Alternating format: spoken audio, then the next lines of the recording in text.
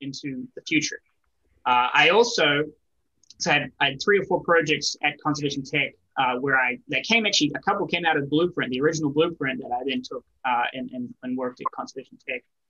Um, the second thing on the top right was uh, my senior thesis.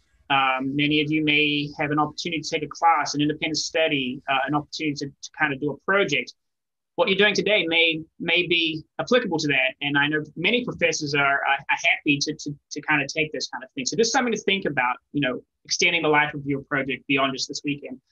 Um, I was also involved in X Prize. I know that there's a, a, group at Duke doing the Rainforest X Prize, very relevant here. Uh, and then also anyone that's not from Duke uh, might also be interesting to think about how your solution may be interesting uh, for that competition.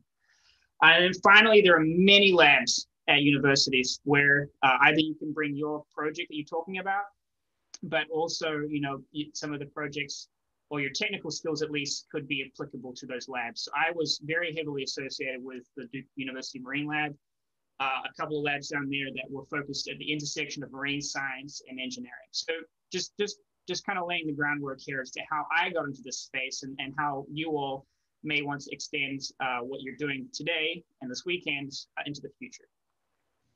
So just very quickly, my day job is at Conservation X Labs. Uh, we are a innovation company with our mission is to uh, end the sixth mass extinction, which is human induced and uh, and is going on right now.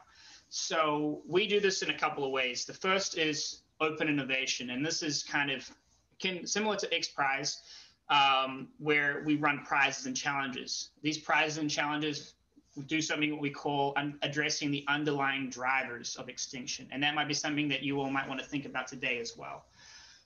Uh, what this means is that we recognize there are problems in biodiversity loss. There, there are, you know, as, as was mentioned in the in the keynote speakers today, uh, a lot of people are very concerned, and it often turns into a, a doom and gloom kind of field. But what we try to do is take a step back. Why is the forest being deforested? Why is there uh, why is there uh, over harvesting of fish? Those kind of questions. And, and once we can take a step back, why is there climate change? You can start to, to address the, the drivers of those of those um, problems, and that's where technical solutions really come into their foray. Uh, a lot of conservation is monitoring, um, and that in some cases addresses those the, the reasons for the biodiversity loss. But in many cases, you need to do something with that data. You have to do something with that monitoring for it to be useful. So really thinking about what those causes of the biodiversity loss is really important. Just very quickly, some of these challenges we've run um, just to show how diverse those drivers can be. We've run the global cooling challenge, which is, uh, if anyone's familiar with uh, Project Drawdown, the top causes of climate change ranked in a very kind of numerical uh, concrete way, the number one driver of climate change is actually uh, the uh, is is uh, is cooling. So being able to refrigerate both houses and or cool houses and you know storage uh, of food along the food supply chain. Now, this challenge was about trying to create a more efficient cooling system. And if that is true, we can lower and we can we can make the metrics, which it looks like some of our competitors will, uh, we can reduce global emissions and, and the, the heating effect by up to one degree Celsius. Now, that's a huge impact for not only the climate, but then also that flows onto the biodiversity crisis we're facing that obviously affects the Amazon and, and rainforests around the world. Um, and then we've also run challenges in things like um, the this, this one here. It was the Ohia challenge, which is a uh, a, a, iconic uh, species of tree in Hawaii that was facing a uh, extinction from fung- a fungal pathogen. So there are many, many opportunities to get involved with, with what we're doing at Conservation X Labs. And again, uh, we're about to, uh, we have these challenges ongoing and, and, and, uh, and there's always an opportunity, I think, for people like yourselves to have a look at these challenges and maybe use your technical skill sets or even the project you're, you're working on this, this weekend to apply uh, and and maybe you know go somewhere and take it take it beyond just an idea. second part of Conservation Labs, which is what I actually work in, is called directed innovation. That's engineering, right? So we actually make stuff. Um, and um, and what we're really trying to do here, again, is where we feel like we can perhaps address these underlying drivers. We'll, we'll take that uh, and, and build a product around it. Uh, we have built, just before I get into those products, this is the first, this is the second lesson I've really found is that designing accessible scientific tools is hard, but it's really awesome.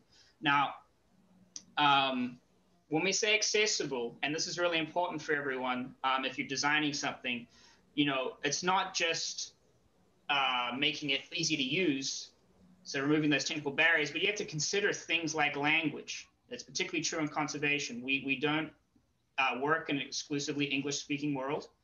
It's important to make sure your solution and so your code base perhaps in, in, in software has to be able to has to be able to deal with with multiple languages.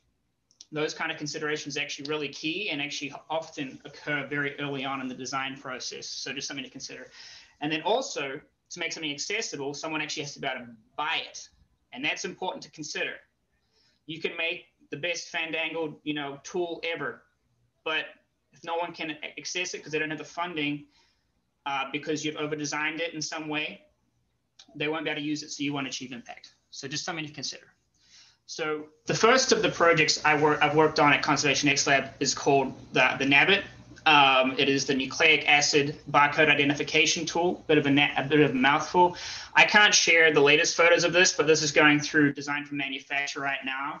Uh, but the idea here is that we can say, is the species present in the sample? That species can be anything, it can be uh, uh, an endangered species, it can be uh, something from a scat sample, or it could be some, a virus. And that's actually where a lot of our work has been recently is in actually doing rapid tests for COVID. The idea behind this is that we've designed it to be accessible, low cost, and can be used by anyone.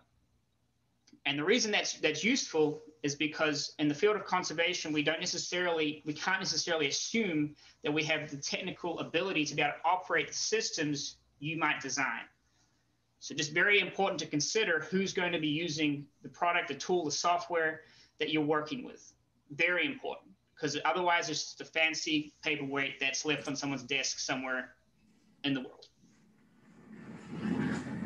Third, the third lesson I have learned uh, is that uh, data is only useful if you can use it. We see a lot and lot of data collection um, in, in the field. It, uh, we just had a call, for example, with a, a, local DC urban ecology group. They have 1,500, 1,500 uh, cameras out taking photos of people walking walking by with their you know legs, but they're trying to understand the urban ecology of, of Washington D.C. Uh, but oh, sorry, uh, go away. Uh, sorry. Um, but uh, it's very hard to process the data. And by the time they get around to processing, it means nothing. So it's really important if you're designing a tool that collects data, you also have to consider how it's being used because it's only useful if you can turn around and do something with it. Along those lines, the second project I've been working on is, is, uh, is called the Sentinel. And, and what this is all about is kind of allowing AI to be accessible uh, and more widespread within the field of conservation. The core idea behind this product is that it retrofits to any existing collection device, uh, so a camera trap or an acoustic recorder, and kind of turns that that device into a smart device. It, it basically has two features. It uh, it, it uh, gets the data off the off the auxiliary device, so the camera trap or the acoustic recorder processes it using AI and the algorithms, and then sends that data back to uh, the cloud. Now, because you've processed that image, you can send only relevant data.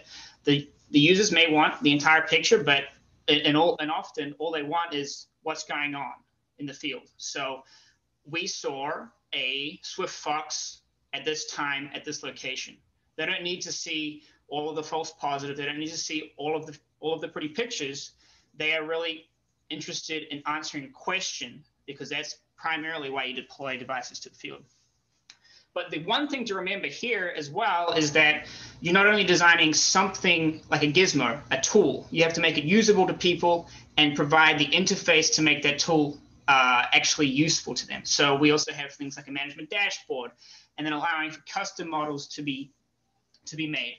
Because one thing to remember is that if you're doing anything in artificial intelligence, at its core, what you're doing is you're answering a question again and again, right? The problem within conservation, in the conservation space, is that everyone has a different question. Now, you can either go broad and uh, and answer everyone's questions pretty well, and and that's often enough. But in many cases, you, you need to answer a very specific question that is to a very specific customer. So that's also something to consider that in conservation, the space is so specific to the to the study area that you are talking about. And that often means that technology kind of gets tripped up trying to be either accessible to, or or broadly applicable or only applicable to one to one specific area. Another thing that i've learned is that and this is something that's also super relevant to, to all of you being uh, being that you're uh, often all in college is that it's possible to learn new technical skills if you have to. I was a mechanical engineer in college. I did not do any software. I did so, you know, I've already spoken about AI, but I also didn't do any hardware design, so printed circuit boards. Um, this is something you can learn if you have to. Often there are uh, other people that do it better, but in, in the field of conservation, often there, there may not be the funding to hire someone. And so if you have to learn something to do, do what you have to do, you can do it um, uh, all of you are smart and, and, and used to learning. So I would I would encourage you not to be daunted by the fact of, of learning something that's perhaps outside of your major, outside of your field of expertise, because there is a fantastic resource called Google and YouTube uh, in terms of just learning things outside of your core coursework. Another lesson that I've really learned, and this is something that's been instilled by my CEO, um, uh, Alex Dehgan, uh, he always asks me what's next, what's going to put us ahead of everyone else and what everyone else is doing in five years' time. And I think this is particularly relevant for competitions like this because this is an opportunity for you to, to dream big and think, what could we do, rather than you know what what what can we do with what's already existing. So, uh, one of the things that we've been really trying to do is um, in the field cross species Markerless pose detection, which is a bit of a mouthful, but because what we what we feel we can do with this with this technology is that we can answer those higher level questions that people are asking that we when we speak to them. They are interested in things like disease and behavior often. What what is what is this animal doing rather than is it here?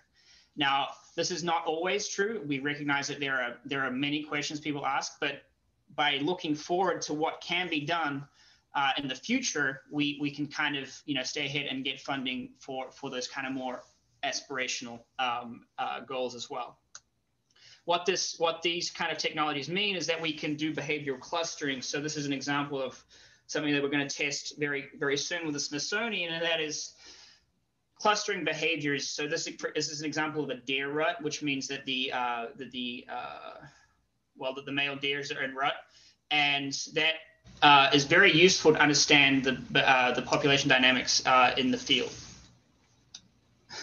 Another lesson, and this is maybe not so relevant for today, but that things are always harder than you expect, particularly in conservation, because you don't have you don't have a pretty data set to work with often. Uh, this is an example I like to show everyone.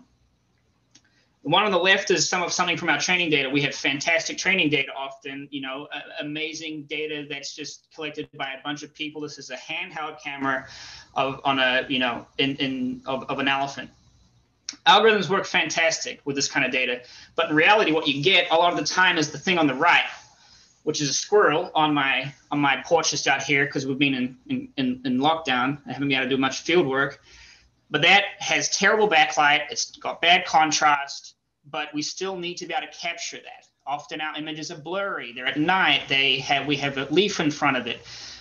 So what I'm trying to say is that designing for the designing for the field is something that you should all consider um, if you're if you're putting something out there. So things aren't perfect. They're not lab. They're not lab conditions. Uh, this is very important. Um, a lot of my job, even though I'm an engineer, is talking to people. Uh, we've done for the Sentinel project uh, right now, which has been going on for near a year. We've done nearly 200 interviews. Um, because what it started off with is a very complex solution. We had a camera and a microphone and a FLIR, a, heat sensing camera that could do a bunch of things. Um, and it's expensive, it's harder to build, it takes longer. Uh, and we don't have the technical expertise on team necessarily to do all of those things at once. And so, what I'd really encourage you to do is when you have the discussions with the users, ask them what they want um, and only build what they want. because that way you're giving them something that they want as quickly as you can.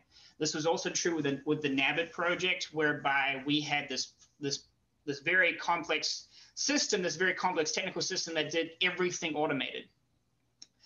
Um, but the, what, what we found is our users were happy to do one of the manual steps, and that made our engineering timeline uh, reduce significantly. And that's allowed us to get the users what they want quicker. Um, I just want to quickly go on to my other uh, kind of venture, I guess, um, which is Fauna Labs. This actually was a project that came out of Duke Conservation Tech. Uh, it is now a incorporated company, uh, and we've received funding from uh, Nat Geo uh, and are hoping to, uh, and Duke, we're hoping to raise some more. Um, but this is an example of how you can actually take your idea today and turn it into a company one day. Um, this is kind of, I really hope that I can take this further. It's really exciting. Uh, but essentially, what it is, it's a Fitbit for non-humans, so animals. We actually designed this for whales initially, um, but what we found is that it actually works through mammalian fur, so things like dogs, horses, other mammals. Um, and so it's a non-invasive way of tracking heart rate and the, the physiologic physiology of these animals. Um, as you can see here, um, this is a signal from my co-founder's Italian Greyhound um, working through the fur. Uh, your your Fitbit wouldn't be able to do that, or your Apple Watch or whatever, because the the signal is will just not get through the through the system. But uh, it's a very exciting project. But also say this was a collaboration with a PhD student that came out of an, an idea from a very similar ideathon to this. So using the people at universities is an opportunity to, to really get a cool idea off the ground and maybe even turn it into a business. Um, I hate to say this as someone that loves hardware, but um, hardware is hard, and as much as possible, derive your value from things that aren't hardware um, because it's hard and expensive, and it's it takes a long time. Now, I love hardware. I will always do hardware in all my projects because I think it is fantastic to have something tangible and it's often necessary to get something into the field. Um, but just consider, you know, some of the that we have a lot of data already. And if you're trying to do something and get into the field and get your get your teeth into the field of conservation technology, and you have the software background or you have the data data processing background, consider those as well. It doesn't have to be a gizmo or a gadget that goes out in the field to have an impact in conservation. Um, this is why we spent so much time at Fauna Labs trying to get this to work. That green light was the first time we saw our board go live, and we spent hundreds, if not thousands, of hours trying to get that board to a to a to a that green light means all the sensors are working. Um, it is so hard to get that to work, especially if it's your first build. I'm sure that if you have done it many times, it will get easier, but it was very hard for us to, to get to that stage. Um, another lesson for conservation is that standard techniques may not apply. Um, we work in a field that has some challenges that are unique to it. And so often being a little innovative about even how you build things is, is, is necessary. So you don't have consistent connectivity. You know, we talk about trail cameras all the time. People are like, well, isn't that just a ring doorbell? It is, but it doesn't have Wi-Fi. It doesn't have the capability to do all those things that you'd expect from modern technology just because of where it is. So considering where you deploy your device and, and the kind of technology or the limitations of where it is, uh, is is really important. Another thing to note is that it's very harsh on technology to put something out in the field. If you're going in the rainforest, you're talking about often 100% humidity, and, and in the Amazon, you know, you get big swings in water level. So is your stuff waterproof and does it work if it's underwater? And then finally, like I mentioned this earlier, um, keeping things low cost is really important in the field of conservation. Uh, I have spoken to many people that um, that don't want to necessarily buy something from us because it's too expensive. And that's just unfortunate, but that's just the, the reality of working in this space. So keeping your stuff low cost, keeping it as simple as possible is something that you all should consider with whatever you're whatever you're talking about uh, doing this weekend. This is a good example of of a unique challenge we have to face in the field of marines in the in the marine space.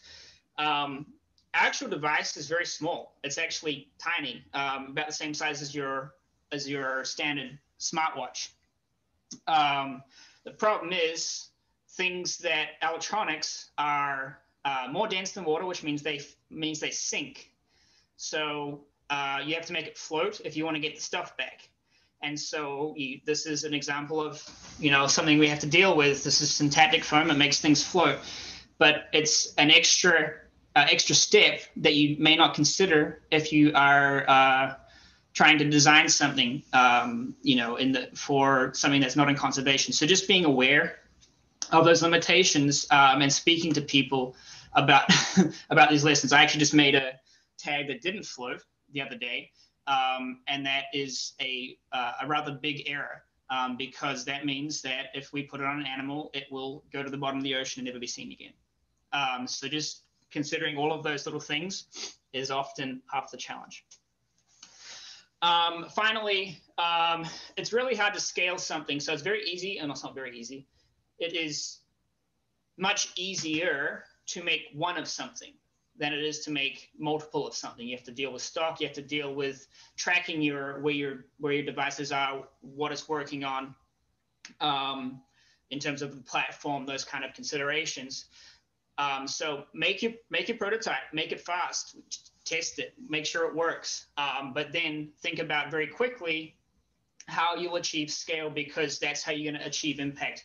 I really loved uh, Rainforest Connection's uh, presentation this morning because they spoke about the global network of acoustic devices and they had the platforms to make sure it scaled. Um, and that's really awesome because that's how uh, we really make an impact. Having one of something can only get us so far. So just just considering that uh, in terms of your solutions about how you could get it to scale, that is uh, not only thinking about inventory and stuff, but also funding. I think that's just something to quickly mention. Um, along those lines, I mentioned this earlier, and, and actually this was something that Eric uh, mentioned as well. Finding markets that can offset the costs of your conservation kind of goals may be useful to consider. So there's cross cross cross applicable markets are, are something to something worth thinking about. Um, partly because conservation doesn't actually have enough money often to sustain a, a team that uh, that you would like to achieve the goals you want for your for your for your mission. So, like I mentioned, we are at Fauna Labs uh, do, doing a device that not only works on whales but also works on things like uh, dogs and horses because the veterinary medicine market actually would allow us to scale the business and achieve the conservation impacts, even though that these ventures do not necessarily have a conservation impact. I uh, just final thoughts.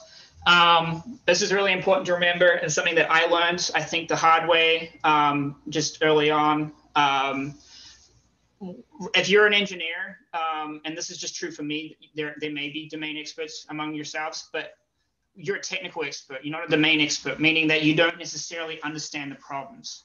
So all the conversations you go into or, uh, or asking um, or you talk to people that are in the field, they're the they're the people you're designing for. So 90% of the conversation should be listening to them uh, and and understanding what their needs are rather than what you can offer. Talk about what you can do, but I think that really remembering that any conversation you have is you are serving those people. Uh, and so really learn from them whenever you can. And then finally, um, I, it's kind of corny, but you know, whatever. Uh, a rising tide lifts all boats. Um, there is not enough resources in the conservation space to uh, compete. Uh, my CEO Alex uh, talks about uh, the fact that our only only competitor is extinction, and this problem is too big to kind of fight among what's the best idea. Uh, and so, as much as possible, incorporate partner, so incorporate other people's ideas, partner with them, uh, and really start to think about how you can leverage what's being already being done by the scientific community rather than reinventing the wheel. Um, that's all I have. I welcome questions, comments, um, disagreements, whatever, um, and then perhaps any any other comments uh, people have about how this may apply to this uh, this weekend.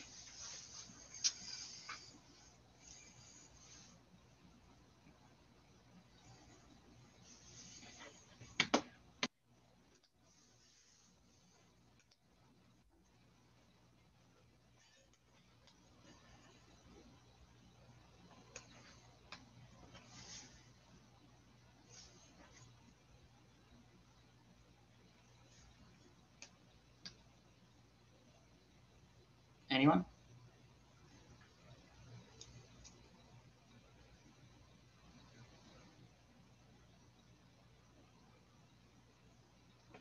Oh, chat.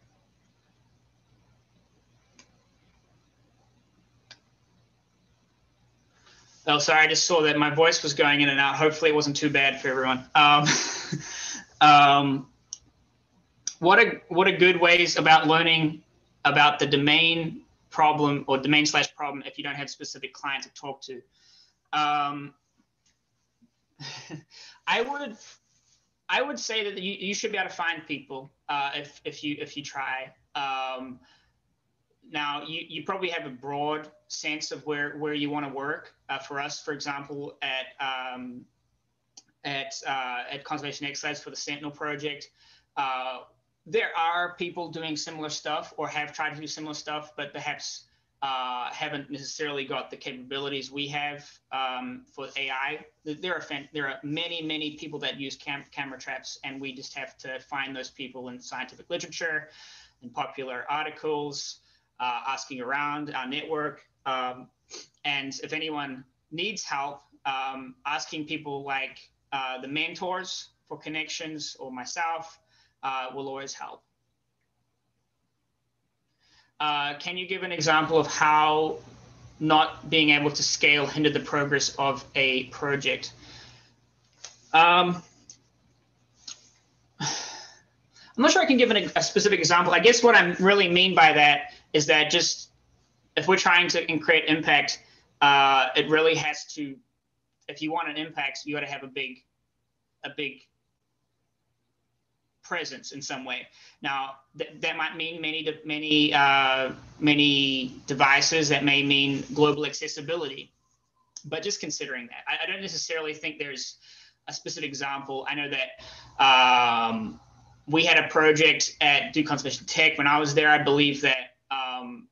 I believe it's still kind of going on, uh, where we were trying to do uh, a, a, sea turtle deterrent using green LEDs. Um, we have a prototype but you know that doesn't mean anything if we can't get it out into the field and, and have that on, on on many gill nets to stop that stop that event from happening.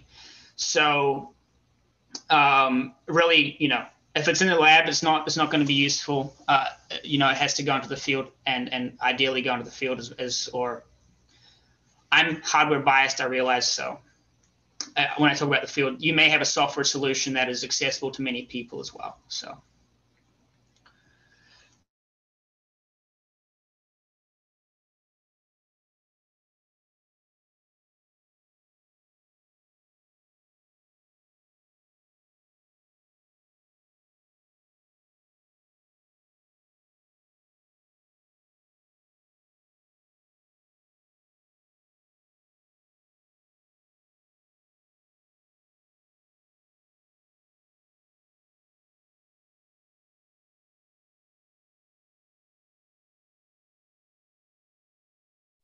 Seems like Sam is having some technical difficulties. Um,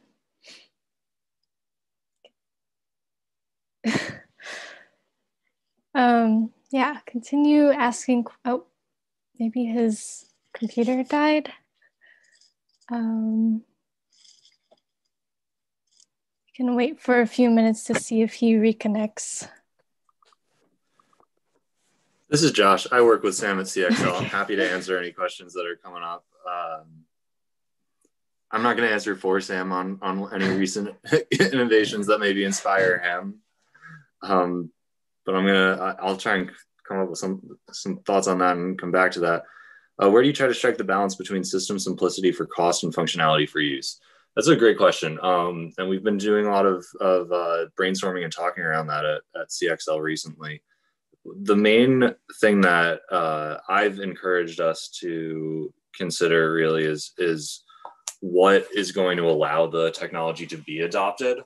Um, so when we talk about cost, we have the privilege as a nonprofit of considering very much so what that cost is to the end user, less so than we have to think about it in terms of a profit margin. Uh, but at the end of the day, it really comes down to what the market will bear.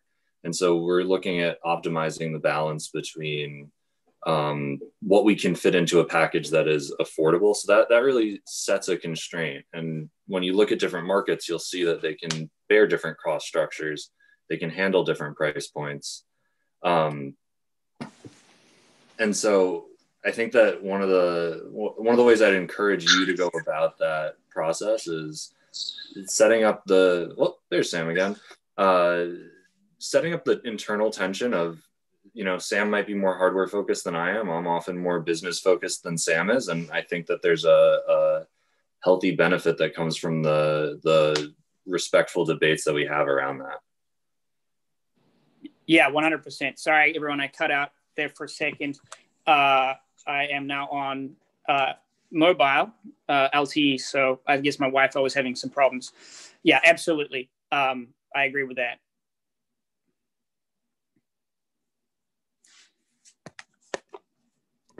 Um, Sam, there's also a previous question for you asking which recent conservation tech innovations inspire you? um, I think I was halfway through answering that. I think that I said that Rainforest Connection is a fantastic example of that, uh, of recent innovations using AI at scale uh, across in, in, terms of hardware deployments. Uh, WildMe is worth looking at. Uh, they are a Portland-based company that does individual re-identification of animals, and they've been able to really understand populations uh, because they can uh, track individuals throughout space and time. Um, there are a number. I said there's also some commercial companies like uh, Saildrone uh, has been a fantastic uh, example of, of someone uh, of a company that actually raised capital and has a, a very successful startup business. Um, but I'd also say that you know some of the really interesting innovations are happening in adjacent spaces. So spaces that um, may not necessarily be directly mo- monitoring wildlife, but they may be uh, addressing problems in the supply chain, um, looking at crime, uh, fighting, you know, wildlife crime or, or similar areas. Um, so, you know, looking at those adjacent spaces that really affect, as we call the underlying drivers, are, are, are pretty uh, interesting to think about. So, what are the, you know, underlying drivers of, of uh, of biodiversity loss in the Amazon, you know, you, are looking at things like forestry, uh, you know, deforestation. So uh, there are a number of, you know, fantastic organizations that monitor that. Um, so uh, Forest Watch, uh, Forest Watch. Um, anyways, but there are a bunch of, of satellite companies that do this kind of stuff. Um, and uh, so, you know, really, you know, thinking about that, we also have a competition, uh, have a competition, or had a had the first round of a competition and, and have a new competition coming up around artisanal scale mining, which is a huge problem, especially um, in the Amazon around uh, mining of things like gold and tungsten uh, that go into our phones uh, that are really important for you know things like uh, electric cars uh, and so you know recent innovations around lithium free you know uh, batteries or cobalt such as cobalt free batteries are, are really important for biodiversity loss and and and and uh, and habitat loss in, in rainforests. So just consider those spaces as well.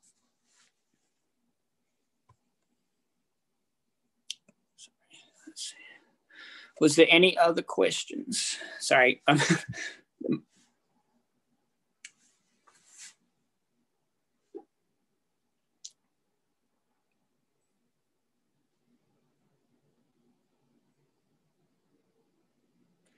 th- I, think just just I'll just close. I think if there's no other questions, um, can everyone still hear me? Yeah, okay. Um, that, you know, this is a fantastic time to experiment uh, and think big. Uh, you have not only the opportunity of this weekend to, you know, think of like uh, new, new innovations in the space, but you also have the opportunity by being in college, you know, to, to do a, to do something interesting and, and, and do something a little risky because you know often schools have funding for to do interesting stuff uh, and be able to continue your project beyond just this weekend.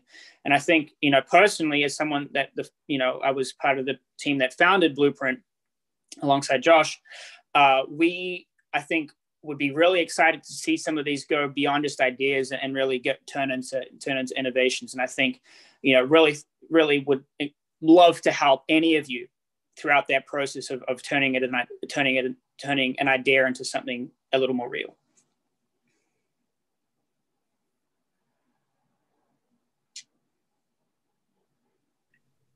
Okay. Well, thank you so much, Sam, for coming out and for sharing all of this with us. I thought that was a fantastic presentation and workshop, and a lot of things that you said um, are things that I've encountered in my at TCT. And I'm sure things that our teams are going to encounter as they're coming up with their projects. Uh, so thank you so much for your time. Um, and for everyone here, Sam is also going to be at the mentor office hours. So if you come up with questions or you want to get more advice about your specific project, uh, come to his office hours. And same with Josh.